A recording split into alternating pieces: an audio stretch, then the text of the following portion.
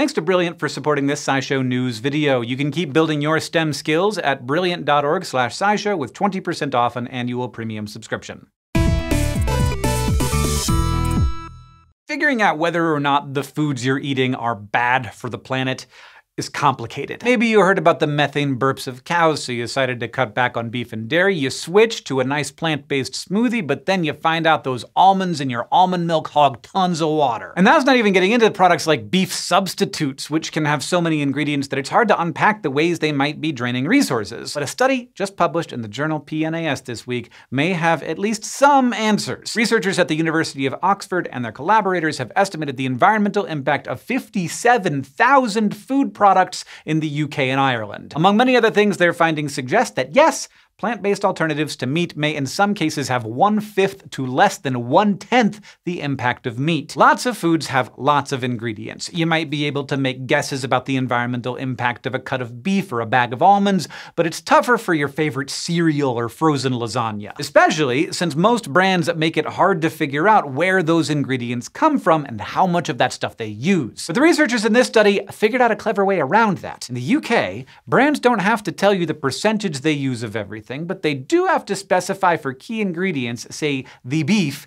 in beef lasagna. And since the ingredient list on the package is required to be listed in order of most to least, the researchers developed an algorithm that could use that info and compare it to similar products to suss out quantities for basically everything. And they compared those amounts to established databases that quantify the impacts of particular ingredients. They looked at four categories of potential problems greenhouse gas emissions, water use, land use, and the potential for foods production to build up harmful levels of nutrients in aquatic ecosystems. To make all that information a bit easier to grapple with, they used it to give each food product an environmental impact score between 0 for no impact and 100 for bad. Generally speaking, the lowest scoring products were made of fruits, vegetables, sugar, and flour. That includes popcorn, vegetarian soups, some cereals and breads, and you guessed it, many meat substitutes. Foods made of meat and dairy tended to have higher scores overall, but a closer look at sausages showed that beef and lamb were 240% more impactful than pork,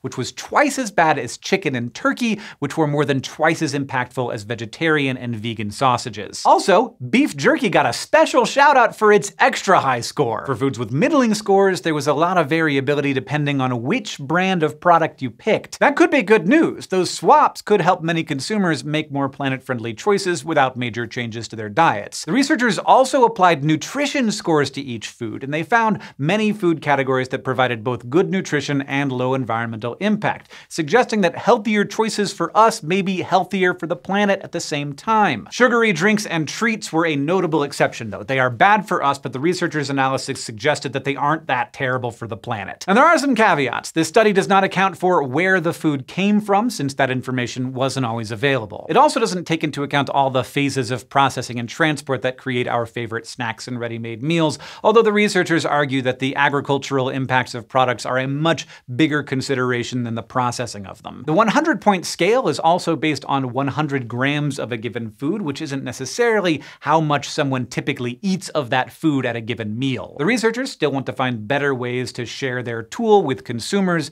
but they hope that it could someday help people make tricky decisions about the best foods for themselves and the planet. Speaking of things that are pretty tough to do, many people need support when they are trying to quit smoking or drinking. And there's some good news on that front. A clinical trial published last week in the journal JAMA Network Open suggests that three medications commonly taken to help stop smoking might also have a role to play in reducing problem drinking. The researchers followed over 300 people with HIV over the course of a year. At the beginning of the study, the participants self-identified as engaging in risky drinking and daily smoking, and they were willing to change those behaviors. The participants were all given medications known to help people stop smoking. One treatment was nicotine replacement therapy. Other participants got the drugs varenicline or cytisine, which both bind to human nerve receptors to partially mimic the effects of nicotine. There was no group that got only a placebo, but participants did get combinations of treatment and placebo. The researchers wanted to validate the two medications' efficacy compared to nicotine replacement in a large group of people with HIV, since their effectiveness in folks with comorbidities is less less well studied. They were also interested in understanding the effect the drugs might have on participants' alcohol consumption. Varenicline is already known to reduce alcohol cravings and consumption, but cytisine's effect hasn't been studied. Nicotine replacement therapy was meant to be the control in their study since it's never been used to curb alcohol consumption. But to their surprise, the researchers didn't find a difference between the three medications. All of the groups showed improvements in their alcohol consumption after three months. Participants reduced their heavy drinking days on average,